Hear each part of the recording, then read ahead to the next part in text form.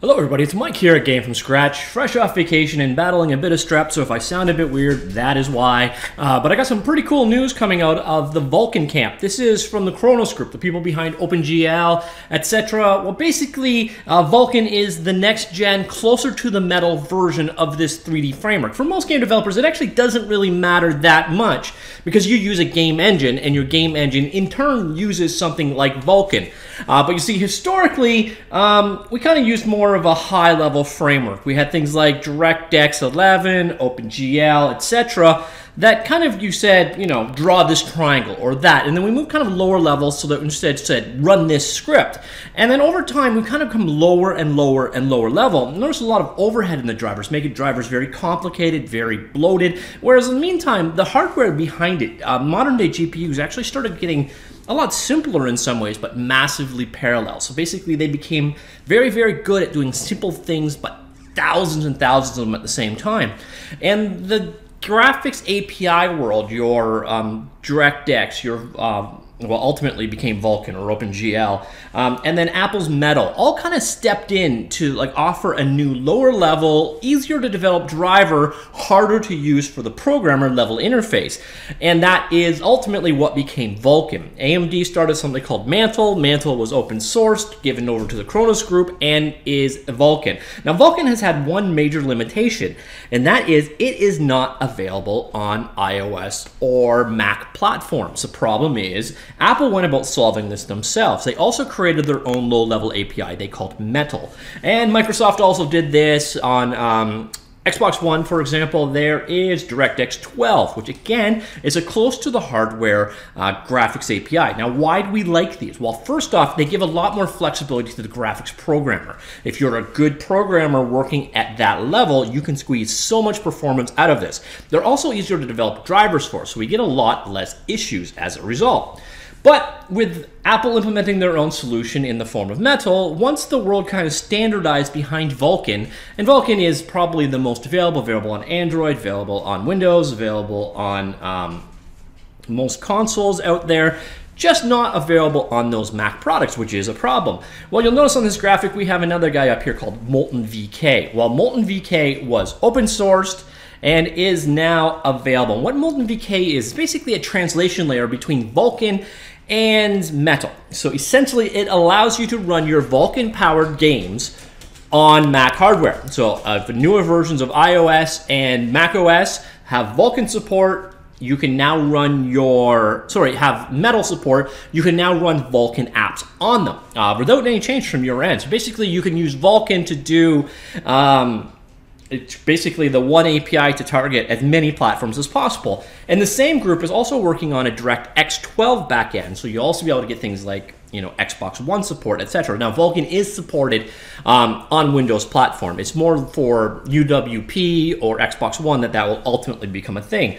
So the cool thing is basically the Khronos Group, Valve, as in Steam Valve, and um, this other company whose name is kind of leaving me. They were a really small group. Uh, Brenwill Workshop, which kind of small tidbit of trivia, apparently are from Erin, Ontario, which is just down the road from Toronto where I live, and it is like population 8,000 townships. So it's kind of funny. But anyways, uh, those three got together. They working on basically bringing Vulkan to as many platforms as possible. Uh, cool thing in this announcement is this product basically, um, oh, what did I call it?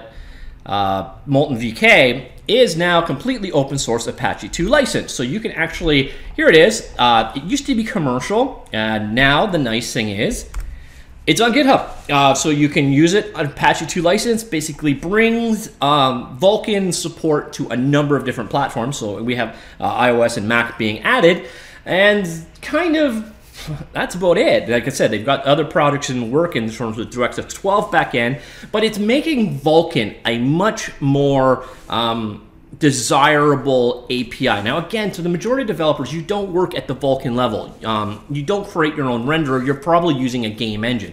And if you're using uh, Unreal or Unity, for example, you probably ultimately don't care because they have the resources to throw into creating a renderer backend for Metal, for uh, Vulkan, for you know DirectX 11, for DirectX 9, OpenGL 3, OpenGL ES, which is the mobile version, etc But the more of these back-end renderers you have, the more complexity it adds, the more problems you could potentially have. It's just kind of a headache, especially for the people maintaining the game engines.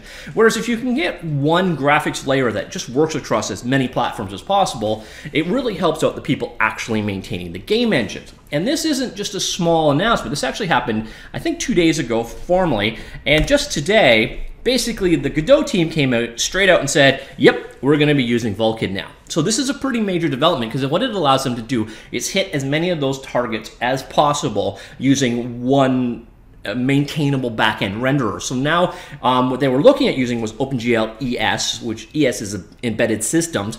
It's a subset of OpenGL 4 point whatever. So the naming and numbering conventions in the OpenGL world are getting very confusing. But they were using the um, embedded subset of 3.0 of OpenGL. And if you read this article, I'll link this down below. Um, point blank, OpenGL ES is having some birthing pains. It's not available on all platforms. There are problems there. There are buggy driver implementations. There's uh, slow support from certain devices, etc. OpenGL ES 3 isn't really as much of a a winner as people had hoped. So basically, they're stuck using OpenGL ES2. Now, the backend is staying in there. They're going to be working and putting their assets towards making Vulkan the primary. Three is going to be deprecated. Two is still in there. Uh, and then you get into WebGL and other stuff like that. Beyond the script, what I'm going to talk about today. But this is just to show you this announcement, this ability for Vulkan to you know hit the probably the two biggest. Well, sorry, macOS, you're not that significant, but iOS, that's a huge market to be missing out on. So now this is a great thing for certain game engines such as Godot to now be able to hit all of those targets with no real additional work on their behalf. So that's why this is a big deal.